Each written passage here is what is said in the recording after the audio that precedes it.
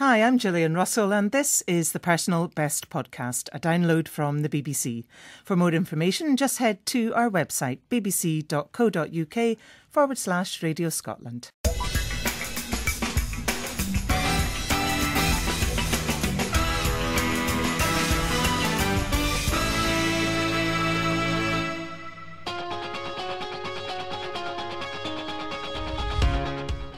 Do you manage to fit any exercise into your working day?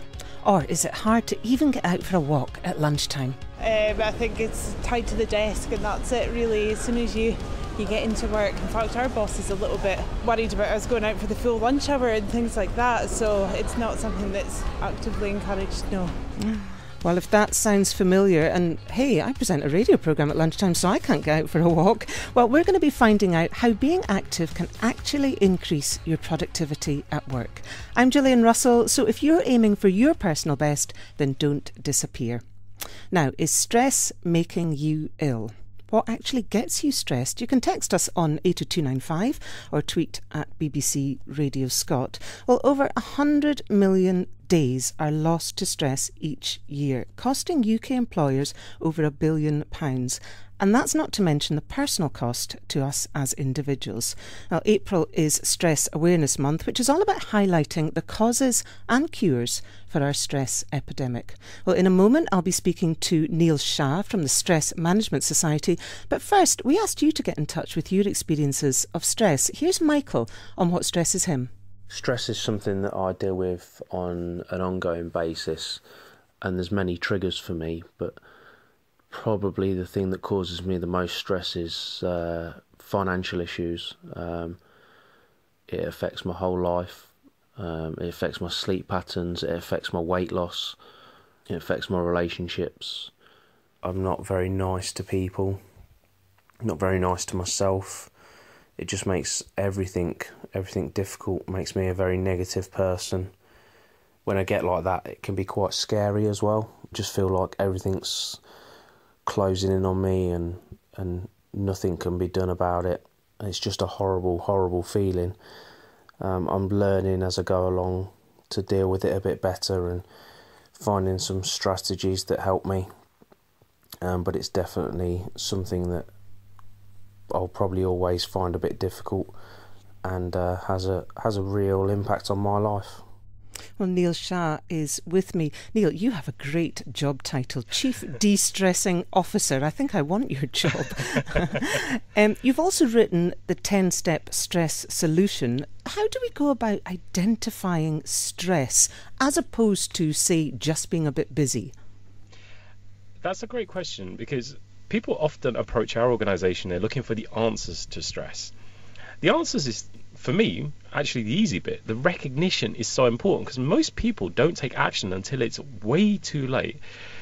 Most of us can very easily associate with the feelings or the emotions of stress. I feel stressed, I feel anxious, I feel overwhelmed, I feel panicky, can't think clearly. But actually, stress in and of itself isn't a feeling it's it's a physical response. Your body's gone into that fight or flight state in preparation to, to deal with that saber-tooth tiger that's attacking it. So, you know, being aware of the, the physiological changes, the heart pounding, the breathing becoming shallow and fast, the muscles tensing up, um, you know, the body temperature increasing, need to go to the toilet.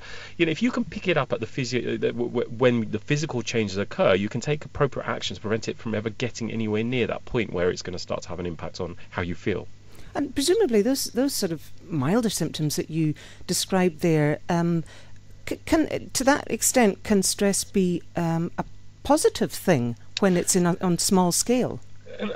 It, interestingly, a lot of people think that stress is a good thing or a bad thing. Some people even say good stress and bad stress, which I think is quite misleading. There's only one stress response. There's different severities of that response, and it could be appropriate depending on what you're doing. Let's say, for example, you're about to run a 100 meter sprint.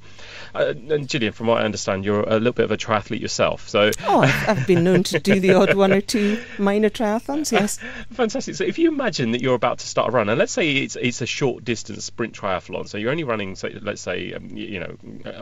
A, a, thousand meters, for example. Let's say you're running even a shorter race, you're running a 100 meter sprint.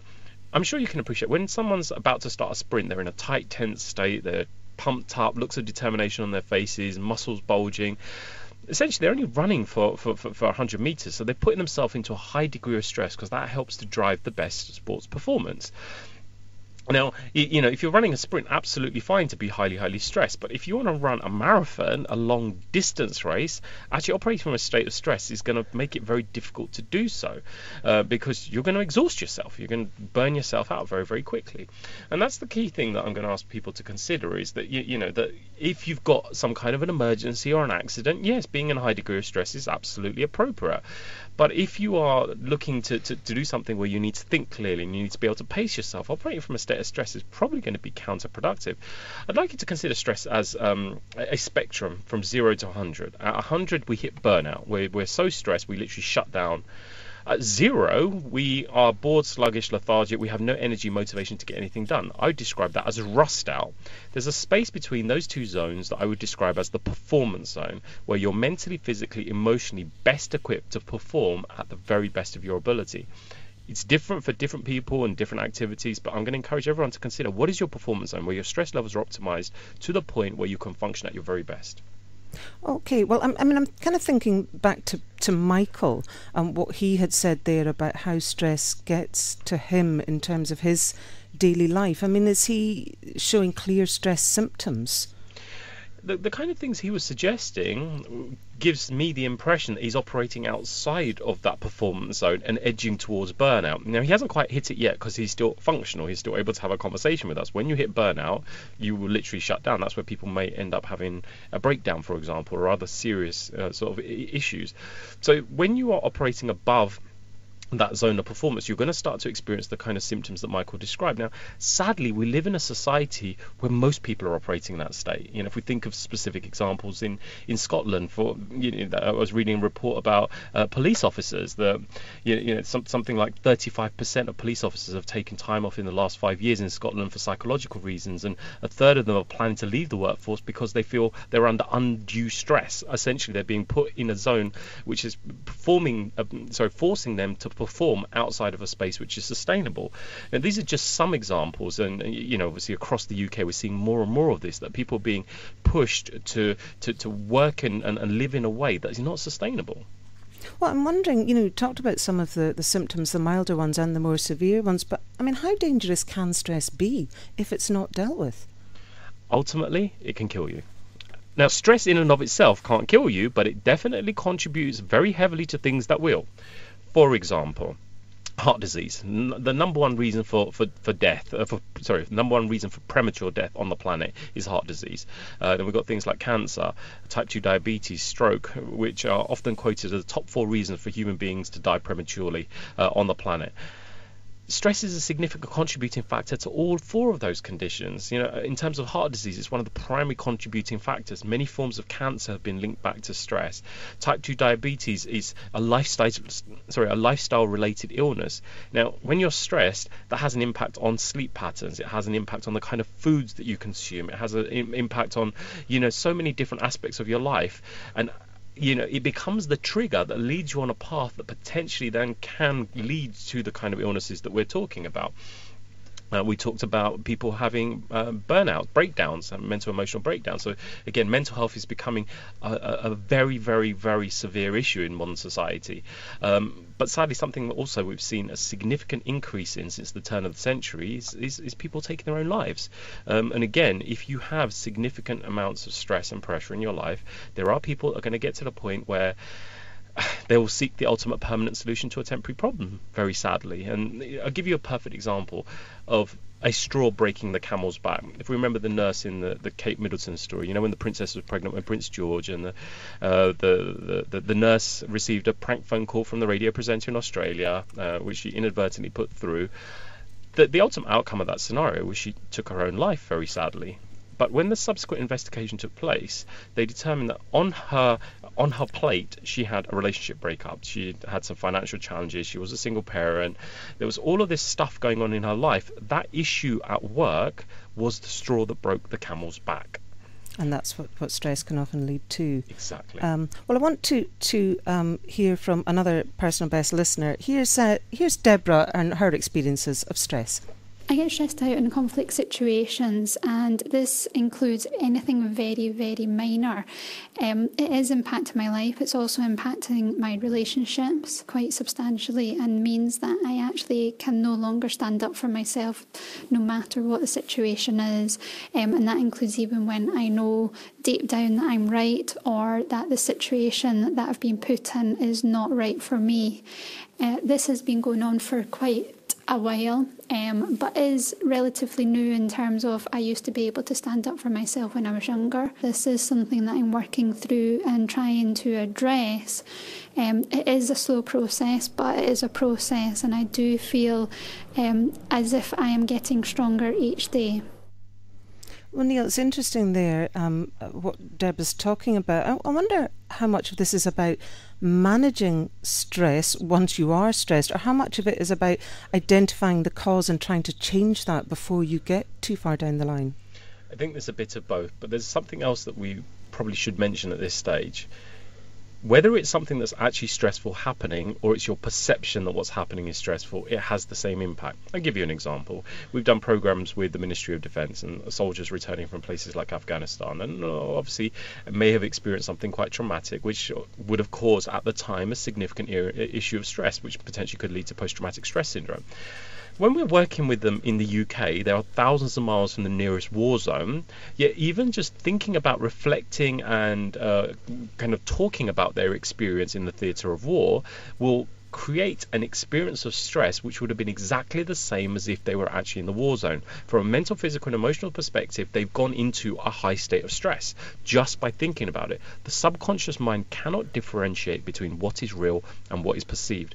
If you are sat there thinking about things that you perceive to be stressful and creating this kind of experience of stress in your subconscious, your body will physically react as if it's actually experiencing it because most stress happens in the future or in the past. We're stressing about something that's likely to happen or something that has happened previously. Most stress isn't really happening right now in the sense that stress happening right now is I'm being attacked by a saber-tooth tiger. Most people, that's not really what's happening. So if we can understand that and put ourselves back into the moment and recognize actually what are the triggers that are happening right here right now that I can take action against that's when you're empowered to do something about it because you know if there's something stressful happening in front of you you could go outside and take a break, go for a walk, the kind of things that you mentioned earlier in the day about you know people taking more more more, more opportunities to, to, to remove themselves from the environments that are causing stress. If it's happening in your mind, then maybe take yourself somewhere else in your mind or do something else to to, to, to separate yourself from the things that are triggering that reaction. Mm, that's interesting. Well, um, here's a, a, another um, listener. Joanne emailed us to say that she gets stressed trying to get her kids up and out the door in the morning. I think a lot of us can probably relate to that. But she says it's not just school days, it happens when they have even something fun planned. She says she ends up shouting at them. It's a mad dash to get sorted and out the door. She says she'd love to avoid this kind of stress every day, but just doesn't know what to do. Neil, what kind of advice would you give to Joanne and, and other parents in terms of dealing with that kind of stress? Now, uh, Joanne may not appreciate the advice I'm about to give her, but she has created that stress. Um, the, uh, in, in the sense that we have ultimate power over how we react and respond to the things that are happening in front of us. We might not be able to change what's happening, but we have absolute power to change how we react and respond to that. Now, she has chosen to view that as a stressful situation and has reacted in a way that's potentially likely to further enable that behavior for her children. There's a model in psychology known as transactional analysis, where essentially we're looking at three different ego states parent, adult, and child. Now, this is nothing to do with the age of the individual, it's more the space that they're coming from. If you are, are my daughter, for example, and I want to kind of uh, uh, yeah I, I, want you to, to, hurry up and get ready and I'm screaming just bloody hurry up and get yourself ready and we need to get out. Like I'm operating as this kind of angry critical parent. What's going to happen to your behavior if I'm talking to you in that way I'm going to rise up and probably make it worse. And absolutely, and that's the thing is a lot of people don't appreciate that when you are approaching uh, a situation in a particular, and this this works with people of the same age in the workplace, for example, we teach as a management technique. If you are treating people like children and scolding them and berating them for problem behavior, they go into that child state. They go into that kind of either, you, you know, kind of very submissive and, and, and, very react, reactionary or very emotional, or they could be just ignoring you and not paying attention and going kind of that, that teenage phase kind of thing. So ultimately, it's focus on the fact what I would say to uh, uh, suggest for Joanna is, in a situation like that, you know, approaching the children and say, look, this is what needs to be done. Here are the consequences of not doing it. To put the facts on the table and have a fact-based adult-to-adult conversation. Now, in fact, a lot of the progressive parenting styles suggest not talking to even small children like children, but talk to them like adults and have uh, kind of that relationship where we are saying, here's what we're doing, here's the consequences of not doing it, and here's the rewards for doing it. And actually, that is a much better way to develop a child's ability to, to, to differentiate between what's right and what's wrong, and also putting less stress back on you because you're putting the responsibility on them. You're asking them to step up and make decisions that will serve them in an appropriate way. Mm, good point. I'm going to pop that in my pocket as well. Um, do stay with us, Neil. Coming up on the programme, I'm going to be talking to the man who has a completely unique location for his daily run. You won't believe where he runs. At the moment, you're listening to Personal Best with me, Gillian Russell. If you've just joined us, don't forget you can catch up on the iPlayer or download our free podcast. Just go to bbc.co.uk forward slash Radio Scotland. Now, we hear a lot on this programme about exercise being good for our physical and mental well-being, but there's increasing evidence that it can have a positive impact on our work successes too, just something that uh, you were touching on there, Neil. Well, Victoria Joy is a health and wellness journalist who's been looking at this research. Victoria, I mean, how much can exercise actually boost your career or your productivity at work? Sure. Um, well, as you said, there's a, there's a growing mass of research looking into the links between fitness, kind of keeping keeping fit with regular exercise, and the workplace. And it, you'd be surprised at how much hard science there is to back this up. So we th- there's been research, so particularly by Leeds Metropolitan University, um, uh, a guy there called Jim McKenna, who's looked at, at white collar workers at, at their desks on days that they chose to exercise on site. So we're talking at lunchtime and days where they did no exercise. And and they actually found that workday exercise both improved the mood which is not particularly surprising but also the the performance of those workers. Actually to the extent that on the days that they exercised that percentage increase in performance was comparable to them achieving in 7 hours what they'd otherwise achieve in 8 so That's so amazing. from that point of view they've you know they've taken the hour at lunch to go and work out. But in terms of the productivity over the course of the day day, they they've lost nothing in terms of you know their their boss and their company has still got that full day of of really great work out out of those people. That's quite incredible because there is that perception of you know being stuck at your desk and thinking I haven't got time to get away, um, and it's almost like changing our mindset to to realise that the getting away will be beneficial. Absolutely, and I think what was particularly interesting about that study was that the the research team looked at the same individuals, so they didn't compare really fit, healthy, active individuals to those individuals who never exercised and, and kind of, you know, felt lethargic. These were the same people who on some days exercised, on some days didn't, and they still found this this massive increase in productivity. So it, it we are talking about, you know, on, on Monday not exercising, on Tuesday going out and, and doing some exercise on your lunch break and, and seeing that difference day to day in what you're what you're achieving personally and also what you're giving back to a company. Well, I mean, we all have different issues at work and different worries and different stresses. So, what kind of exercise will benefit each type of work issue? Because presumably, depending on what's going on in, in the workplace, um, there may be some things that are more suited to you personally or to what your, your workplace issue is. Absolutely. I, I think you hit the nail on, on the head when you said suited to you personally, because I, I think uh, we can look at specific studies looking at specific exercise, but at the end of the day, it's finding what, what works for you and what is going to to give you the motivation to actually work out. I mean, there are there are different studies um, to look into to the benefits of different exercise. Um, high intensity interval training has been shown to have a very profound effect on the brain. So in terms of um, cognition and and brain structure and function. Uh, so the the argument is that that is kind of you know boosting your brain power. You're you're going to have improved memory. You're going to improve creatively. Um, I, then- need to do that right now. and and then we've got yoga, who which has been proven time and again to to kind of um, have a really great de-stressing effect on on the body and the mind. But I also that, need to do that. that said, if an individual doesn't particularly like either of those exercises, they're probably not going to do them and it's going to fall by the wayside. And after a couple of days, however well intentioned they are, th- th- then they're not going to be keeping fit and they're not going to be keeping you know that that exercise schedule up regularly so i think even more importantly is to find something that you really like that you can do regularly we're, t- we're talking about you know three to four times a week, maybe half an hour at a time. Ideally, a, lot of the studies will show consistent aerobic exercise. So actually, we're talking 30 minutes of exercise every day. But you know, in in this day and age, I, I completely understand that isn't a realistic target for everybody.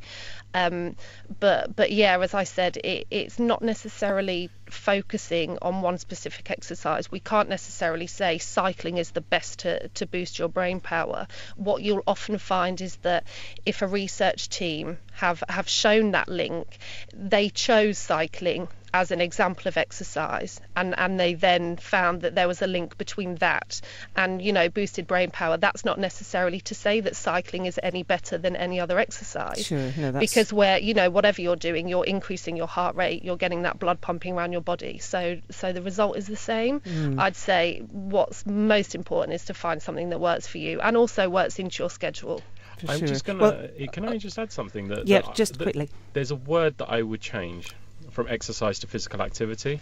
Exercise is like diet. The moment you mention diet, people will have kind of a, a, a connotation of what that means. Physical activity could be walking up the stairs. It could be, you know, the, the stretching. The, the, the, the moment you introduce the word exercise, people may have fears associated with that. Changing to activity makes it a little bit more accessible. Mm, good point. Well, I mean, Neil, do you encourage your team to get out and exercise during the working day? Yes, and we're, we're just about to move into new offices literally over the next couple of weeks, and that's been my biggest stress. And one of the first things that we're having done is having a, st- a shower installed so people can cycle to work. We have our office by the Grand Union Canal in West London, so people can go for runs at lunchtime, and we're actively encouraging that. Uh, one of the big changes, which I haven't announced to my team yet, so I'm announcing it to the whole of Scotland before my team hear about it, is we're going to make a change to the working day. So you get your eight hours done. If you want to take a two-hour lunch break, which involves an hour work, uh, uh, an hour's uh, sort of uh, running, have a shower, have some lunch, you know, um, use the meditation room, which we're also installing in our new office, then you can do that. So you're flexible about your work pattern, so you can get to do all the wonderful things that the, the environment will afford. Well, I love the sound of that. But uh, if you're listening to this and thinking, well, it's all very well, but my job doesn't allow for exercise during the day, you're probably not alone. I worked in uh, children's home, residential care for children. Right, so how practical would that have been for you just to say, do you know what, this is getting too much, I'm just going to take half an hour out? It's not practical at all. Because uh, there are two people on shift looking after four children and you're there for a 24 hour shift and you just couldn't you just couldn't leave them. You weren't even allowed to have your lunch. Did that have an impact on your health? Yes, In what way? ate more, drank more, got more stressed. I've never been so healthy since I left there. It would be so handy if you get out for half an hour just to just get a break, just to free your mind a wee bit. I mean, our our company is looking at getting a, a gym membership, but you would need to take time out your own time to do it before you came to work. Um, I think it's tied to the desk, and that's it really. As soon as you you get into work, in fact, our boss is a little bit worried about us going out for the full lunch hour and things like that. So it's not something that's actively encouraged. No. We have quite a short lunch times, so it would be possible, but then we maybe wouldn't have a chance to eat anything. But we're a small, very small retail unit, so we need the staff to be there. You know, we're a tight team. So it's really need not two in, it's practical. not practical. But because they're part time, then they do have plenty of time. I am the boss for where I work, and I do a lot of exercise, a very kind of on your feet type job. So yeah, I'm always buzzing about the, the hotel and things I work in. Okay, so what about your employees? They said, I'm feeling a bit stressed, I need to go out for a run. Would you allow them to go out for a half hour run? I think it's important that people find the right kind of kind of balance between their kind of mental health and their, their kind of physical health as well. So yeah, we all, I always completely encourage staff to get as much exercise as they possibly can. You know, and like you say, if they're a bit stressed, a bit pent up, just give them five minutes, just go and blow off some steam. If you're recruiting somebody and they did no exercise or weren't active, would that kind of put you off employing them? I think it probably would. I think I think you need people who are going to look after themselves personally as much as they would do professionally, you know, and it's it can impact on both parts of their life. So certainly, yeah, from my point of view, it probably would do. Whether that's HR's answer is a whole different score. Good point. Well, Victoria, I mean, how much are employers recognising the benefits of, of exercise on productivity in the workplace? I think it's a, a, growing cultural change. I think we're seeing more and more businesses uh, recognise the importance of their employee well-being. So when they have employees in, in their workplaces already, they they feel like they have a certain responsibility uh, to those employees. Um, but I think what having spoken to, to recruiters in the past around this topic, I think we're also seeing um, not necessarily a bias to to people who um, engage in physical activity a lot, but but there is certainly a sense, um, especially in kind of higher management and executive positions, where if a recruiter was faced with say two CVs, where on on the face of it they're very very similar. They've got the same experience. They've they've got the same qualifications. If one of those candidates has, you know, run five London marathons and trains for Tough Mudder every year and and uh, goes to yoga three times a week. It, what we're talking about is they're just showing it's it's another way to demonstrate the evidence that says you have all of these skills associated with the workplace and and you're putting them into play in your personal life. Well, it's interesting because that, that was kind of alluded to there in the in the tape, but I wonder to what extent there's a risk of discrimination if a person isn't active. Sure. I mean, I d- I don't think we're anywhere near that yet. I d- and I don't necessarily think it's a conscious thing. Um, so there's a term in recruitment called the like me bias. So it will be where, whether consciously or not, um, a, a manager or recruiter will maybe. Um, go for candidates that share similar interests or have similar backgrounds to them.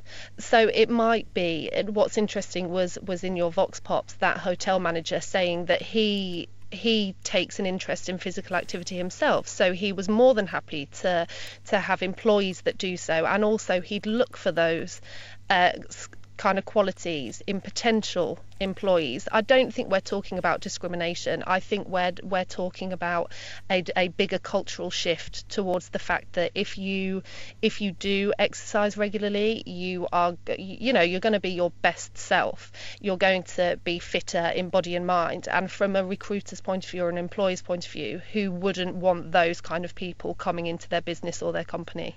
Yeah, good good point. Yes, um, we're just about out of time. Neil, how best can we go trying to incorporate exercise into work? And I think just to, to, to, add in, this isn't just about productivity and efficiency. It's not about mm, you know happiness or just about creating a happy, healthy workforce. This is a risk management issue. You, you know, uh, stressed out staff, yes, it can lead to, to to lower productivity and efficiency, but it can also lead to accidents, injuries, and sadly even death. You know, a perfect example: Ninewells, uh, Ninewells Hospital in Dundee. Sorry, Neil, we're, we're going to have to leave it there. We are right out of time. There's lots more we can discuss on this. We will come back to it another week. And I did promise we were going to talk to the man that runs in the most unusual, location. We will have him on air next week. Until then, Janice is up next. Bye for now.